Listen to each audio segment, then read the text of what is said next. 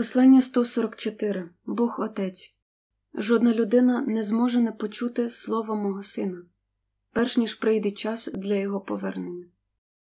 Субота, 23 липня 2011 року, 17.15.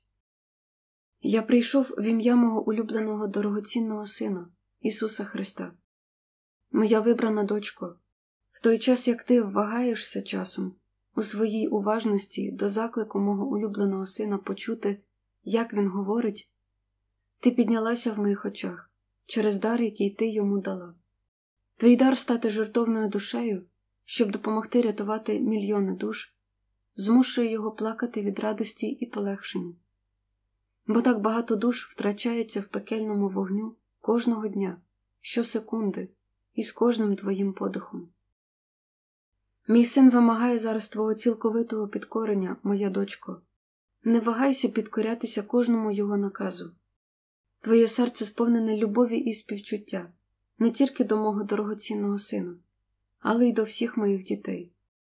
Діткнута Святим Духом, ти зараз відчуватимеш миттєву любов до незнайомців, в яких ти побачиш моє світло. Тобі, моя дочко, зараз були дані ласки бачити як любов, так і зло у всіх. Ти також зможеш швидко розпізнати гріх в бідних, введених в оману душах. Бо ця праця означає, що ти повинна оточити себе всяким захистом. Я, моя дочко, буду захищати тебе і твоїх близьких, бо злий дух зараз буде сильніше націлений на тебе. Молися і проси мене зараз про цей захист кожного дня, і ти будеш позбавлена інтенсивного переслідування.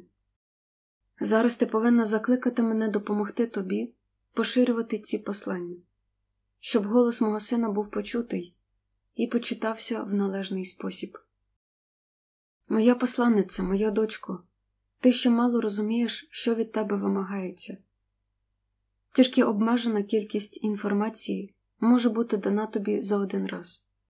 Зараз ти будеш натхненна мною і під моїм керівництвом виконаєш передбачені пророцтва коли слово мого сина буде поширено для людства, так само, як і святе Євангеліє.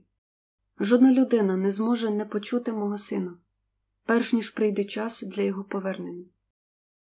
Тобі було дане це завдання, і за цей дар ти повинна схилити голову в знак подяки за це славне прохання з небес. Моя дочко, тобі буде надаватися допомога у всякий спосіб, але ти повинна завжди слухатися мого сина. Піднімись зараз, моя дочко, бо людина має почути слово про попередження, яке передає мій син, щоб душам не потрібно було страждати від пекельних мук, якщо вони помруть в смертному гріху, не отримавши спершу шансу бути відкупленими моїм сином під час попередження. Дозволь зараз моєму миру наповнити твою душу. Моє серце оточує кожен рух, який ти робиш. Ніколи не відчуваю, що ти самотня в цій праці, бо ти направляєшся кожної хвилини дня. Бог Отець.